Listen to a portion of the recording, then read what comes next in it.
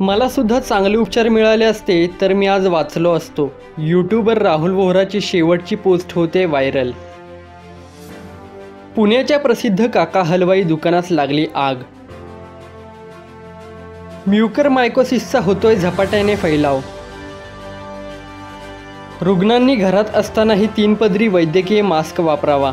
गृहविलगीकरणाचे नवे नियम जारी. दादाजी भुसे यांच्या अध्यक्षतेखाली नागपूर विभागाची खरीप हंगाम पूर्वतयारी आढावा बैठक घेण्यात आली. पुंगीवादातून नवा पुंजीवाद देशात निर्माण झालाय. पुंजीवादही देशाला कोरोनापासून मुक्ती देऊ शकला नाही.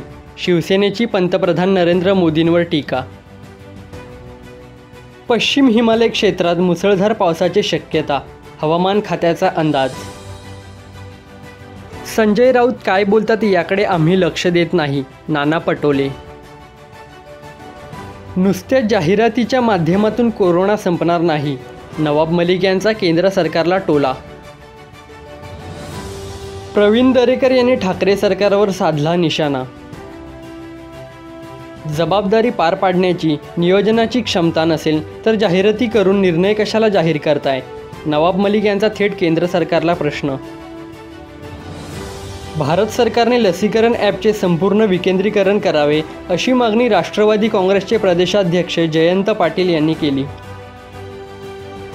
नाशिक जिल्ह्यात पुढील दहा दिवस कडक लॉकडाऊन जारी.